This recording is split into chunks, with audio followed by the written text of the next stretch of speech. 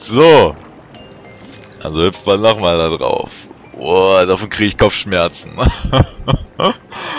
ich wollte eigentlich in einer Stunde mit dem Dungeon durch sein. Ich weiß gar nicht, ob ich das jetzt so schaffe. Da, also so lange nehme ich auch noch gar nicht auf, oder? Na, knapp ja, 20, 25 Minuten oder irgendwas um der Dreh. Also von das ist vielleicht noch in Ordnung, aber äh, nichtsdestotrotz. Wir haben jetzt 20.24 Uhr auf meiner Uhr. Ich wollte bis 21 Uhr eigentlich durch sein, weil viel länger kann ich nicht, weil morgen habe ich wieder Frühschicht und morgen muss ich arbeiten und Arbeit ist blöd. Und also Arbeit ist nicht unbedingt blöd, aber Arbeit ist halt hinderlich beim Let's Play, sagen wir es mal so. Also, was ja definitiv das einzig Wahre im Leben ist. Oh ja. Nur dafür, für das hier lohnt es sich zu leben. Genau, ja. Hören wir jetzt lieber auf, bevor die ganze Sache noch zu traurig wird. Mm. Aber der Dungeon macht es ja relativ angenehm. Ich sag mal, ich habe genug Vogelstatuen. Den Sprung müsste ich doch hoffentlich schaffen. Dankeschön. So, okay. Jetzt denk erstmal drüber nach, Hering. Was musst du jetzt genau machen? Genau, du musst nicht die Karte aktivieren. Du musst einfach nur Sidney bemühen. Sidney kann jetzt oben nochmal ein bisschen rumfliegen, er kann sich nochmal umgucken, er kann dir vielleicht sogar Herzchen mitbringen, wenn Sidney ganz besonders lieb ist. Und Sidney ist heute mal extrem, extrem, extrem doll lieb. Und wenn er jetzt die Kurve noch einigermaßen passabel fliegt, wow, dann hat Sidney alles richtig gemacht. Und jetzt musst nur noch du alles richtig machen, Hering. So eine dämliche Stelle. So, Moment. Ja, Nee, nee, weil jetzt, jetzt mache ich das noch nicht. Nein, nein. Jetzt warte ich erstmal noch ab. So einen kleinen Moment. Lade meine Schleuder schon mal auf. Kann mir vorstellen, dass es jetzt gleich hochgeht. Genau. Und jetzt irgendwie machen wir so, weil die Plattform da ist. Dankeschön. Puh, gut. Hoffentlich war das die letzte Timing-Geschichte hier in diesem Raum. Weil ich weiß nicht, ob ich jetzt noch für viel mehr garantieren kann. Nein, es war nicht die letzte Timing-Geschichte. Äh, boing. Habe ich dich getötet? Nein. Ich kann euch eigentlich auch nur mit äh, dem Bogen töten, oder? Huhu, hihi, haha. Ich hoffe, der Frosch macht jetzt nicht meine Plattform kaputt. Es wäre sehr nett von dem Frosch, wenn er meine Plattform nicht kaputt machen würde. Es wäre sehr nett, wenn der Frosch... Wo ist der Frosch hin? Habe ich den Frosch überfahren? Ich weiß nicht genau. Ich muss nach vorne gucken. Was passiert hier vorne? Hier vorne passiert gar nichts. Ich muss Frösche töten. Frösche sind scheiße. Frösche sind doof. Frösche sind widerlich. Frösche sind Eier. Äh, halt. Halt. Halt. Falsch. Ganz falsch. Ganz falsch. Ganz falsch. Dankeschön. Jetzt hatte ich Angst. Gebeta, ich habe dir etwas zu berichten. Du hast das Wappen erreicht, auch wenn das echt unwahrscheinlich war, dass du das nochmal hinkriegst, aber egal. Stoße dein Schwert in das Wappen und du wirst zum Triforce geführt. Aber ich werde auch noch irgendwo hin geführt, entführt, was auch immer. Bumm. Dam, dam. Da, da, da, da, da. Es wäre auch zu einfach gewesen. Lass mich raten, jetzt muss ich hier noch eine Oh nö. Noch eine Extra-Prüfung machen oder so. Nee, muss ich gar nicht. Huh, huh, huh. Du hast das Trifos der Kraft erhalten. Es lag einfach so hier rum. Diese Macht wurde einst den Menschen von den Göttern geschenkt. Sammle die drei Artefakte und hier wird die unendliche Kraft geschenkt, die dir jeden noch so großen Wunsch gewährt. Jeden noch so großen Wunsch. Also wie gesagt, ich will ein Pony, ich will ein Auto, ich will ein Haus, ich will Sammle zwei weitere Artefakte. Genau, ich will die zwei weiteren Artefakte auch noch haben. Weil, kann ja nicht angehen, dass andere Leute auch noch hier Spaß haben oder so. Nee, nee, ich will da, ich will das schon alleine für mich genießen. So, wenn ich jetzt hier hochgehe, was passiert denn hier oben zum Beispiel? Wenn ich jetzt hier hochgehe, passiert folgendes. Ich kann zum einen diese Krüge hier kaputt machen, hahaha, in denen absolut nichts drin ist. Und zum anderen kann ich hier diesen Schalter betätigen. Womit ich dann auch schneller durch diesen Raum hier durchkomme. Das ist höchst faszinierend. Oh ja. Gut. Äh, ja, das ist gut. Glaube ich. So. Jetzt kann ich nämlich auch diesen Schalter hier betätigen. Und jetzt komme ich auch schneller durch diesen Raum, beziehungsweise... Oh, hier sind Pfeile. Beziehungsweise kann jetzt in den nächsten Raum reingehen. Der nächste Raum, der nochmal etwas gänzlich Neues ist. Wo zumindest eine Schiebetafel versteckt sein soll. Und Schiebetafeln sind gut in diesem Dungeon. Oh ja, gute Schiebetafeln und wunderbare Schiebetafeln überall. Hier ist es wieder so warm. Warum ist es hier so warm? Das kann doch nicht... Also zweimal dasselbe Setting für zwei eng aneinander liegende Räume. Okay, dafür können die Räume jetzt nichts, weil ich habe so angeordnet, aber naja, davon abgesehen. So, Hier ist eine schöne Statue. Warum sind hier Schlangenstatuen oder ähnliches? Das sieht sehr mysteriös aus. Ich kann hier graben, beziehungsweise mich hier... Ich kann hier durchkriechen. Will ich mir den Raum nochmal angucken? Ja. Das sieht sehr lavamäßig aus. Das sieht irgendwie sehr labyrinthmäßig aus. Ist mir egal. So, schnupp, schnupp, schnupp, schnupp, schnupp, schnupp, schnupp, schnupp. Links gucken. Aha. Rechts gucken. Aha, schnupp, schnupp, schnupp. Schnupp, schnupp. Hier geht's nicht weiter. Schnupp, schnupp. Jupp, jupp, jupp, jupp. Also, schnupp, schnupp, schnupp, schnupp, schnupp, schnupp, schnupp, schnupp, schnupp. So. Zu Ende geschnupst. Äh. Achso, nicht zu Ende geschnupst. Ach Gott. Liebe Entwickler. Gewisse Dinge müsst ihr mir doch nicht 20 Mal zeigen oder so. Ich kann's doch mittlerweile. Oder auch nicht. Weil ich nicht direkt... Ich stand nicht so, wie ich stehen sollte. So, jetzt aber. Hui! Genau. Weil ich hoffe, die Explosion reicht aus. Ja. Ich habe schon gedacht, ich müsste vielleicht mehr Schwung nehmen oder so, aber das hat noch vollkommen gereicht. So, nein, halt. Ich will, äh, ja, Bombe, die gezündete Bombe wieder einstecken, bitte. Ja, dankeschön. Ach, was in Zelda-Spielen so alles möglich ist. Es ist ein Traum. Ich spiele einen wahr gewordenen Videospieltraum hier. Da, da, da, da, da, da, da. Würden manche Leute ja sowieso zu Zelda sagen. Oh. Äh, zu Zelda ganz bestimmt, aber auch zum Spiel. Wir buddeln uns mal ein. Also mir raten, hier ist wieder irgendwo ein Käfer oder so. Oder auch nicht. Boing, boing. Aha. Aha. Äh. Ja, das war jetzt gut, weil ich jetzt weil ich jetzt irgendwo durchkomme. Weil wir jetzt wieder zurückschnupsen müssen. Weil in diesem Spiel... Oh ja, das ist sehr schön. Auch die ganzen...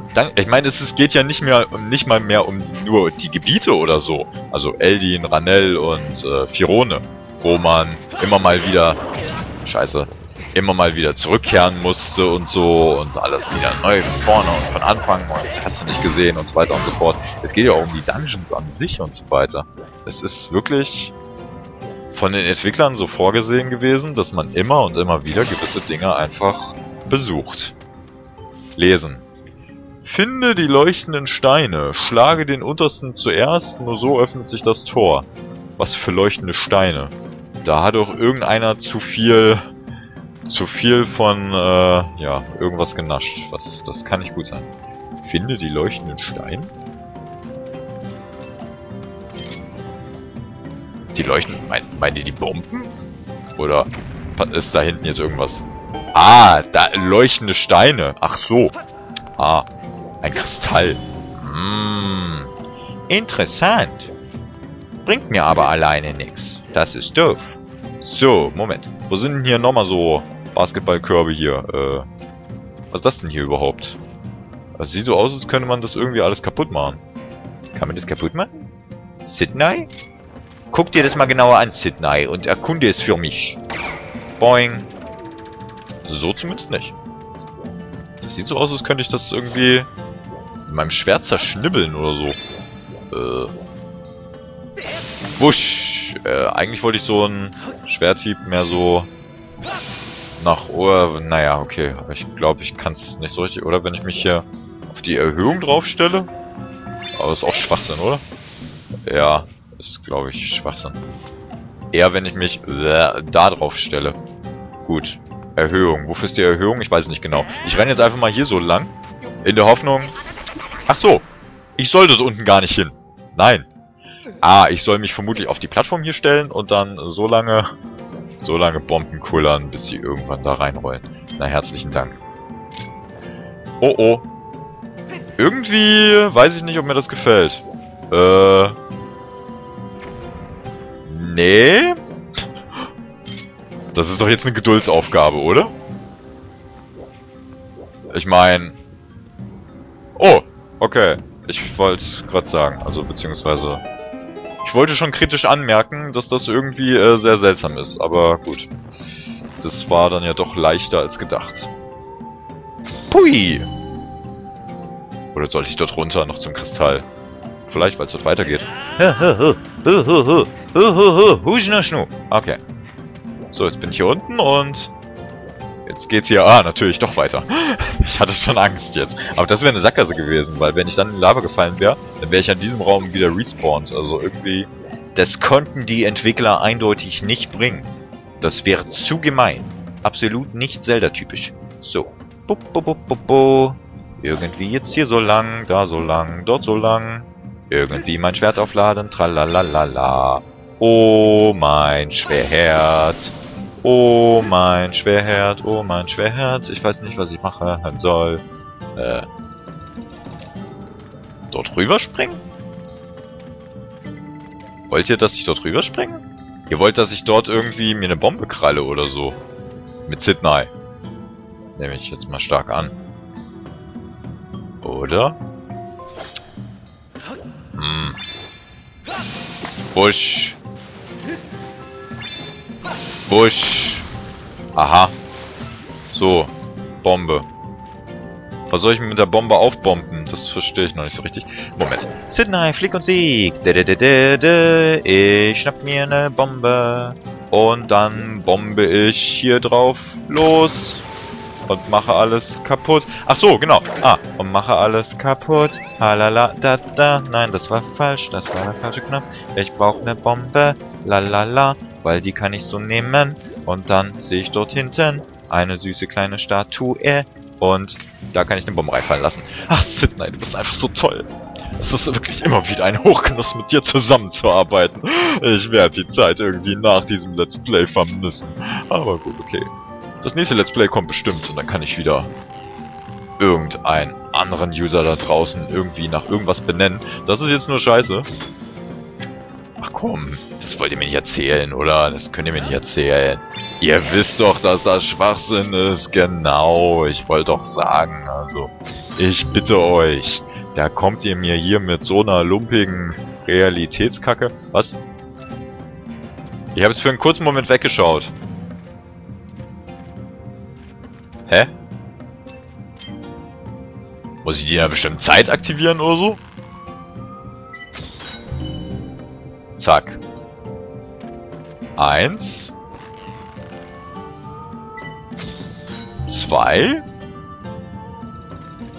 Äh. Uh, bitte nicht runterfallen, Dankeschön. Äh, du kannst auch von hier aus, oder? Kannst du es sehen von hier aus? Äh. Nein, du kannst es natürlich nicht sehen. Warum kannst du es nicht sehen? Man weiß es nicht genau. So. Dann geh einfach hier runter und aktivierst so. Zack. Drei. Und falsch. Ähm. Muss man die in einer bestimmten... Man muss die dann ja wohl in einer bestimmten Reihenfolge aktivieren. Oder in einem bestimmten Gegenstand oder so. Das... Mir hat keiner was von der Reihenfolge gesagt, oder habe ich jetzt die Steintafel falsch im Gedächtnis? Bing. So. Kommen auch irgendwelche Geräusche oder so vielleicht, wenn ich äh, mal genauer hinhören würde?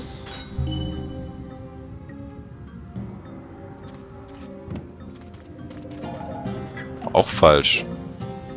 So, in welcher Reihenfolge habe ich sie denn jetzt noch nicht betätigt? Ähm, ne Quatsch. Das habe ich jetzt eben, ich habe jetzt den zweiten so betätigt. Dann müsste ich jetzt eigentlich mal den... Äh, das erscheint mir alles irgendwie zu unlogisch. Oder gibt es hier noch irgendwo einen Schalter oder so? Nee, drei Schalter müssen es doch wohl sein, oder? So, Moment. Kann ich von hier aus den Schalter betätigen? Bob, bob, bob. Irgendwie, ja, natürlich nicht. So, den hatte ich jetzt vorhin als erstes betätigt. Was steht jetzt auf der Steintafel nochmal drauf? Finde die leuchtenden Steine. Ach, schlage den untersten zuerst. Nur so öffnet sich das Tor. Ach so, ja. Ach, Hering, du solltest natürlich auch mal zuhören. Ja gut, okay, den untersten zuerst. Das habe ich ja habe ich zwar eben gerade gemacht, aber danach habe ich den obersten äh, aktiviert. Also das war, ja. Ich sollte mir selber mal zuhören, wenn ich solche Sachen vorlese. Das ist schrecklich. Ja, ich weiß. Ah, der Hering ist so doof. Ah, hat wieder 10 Minuten gebraucht, um das Rätsel zu kapieren. Ja, nee, ist klar. So, jetzt konnten wieder alle gehässige Kommentare schreiben oder so. Darüber freue ich mich immer am meisten, ist klar. Und Ah, okay. Wunderbar. Es ist so schön, wenn alles so wunderbar logisch funktioniert. Interessanter Mechanismus. Wer auch immer sich das ausgedacht hat, der war schon ziemlich auf Zack.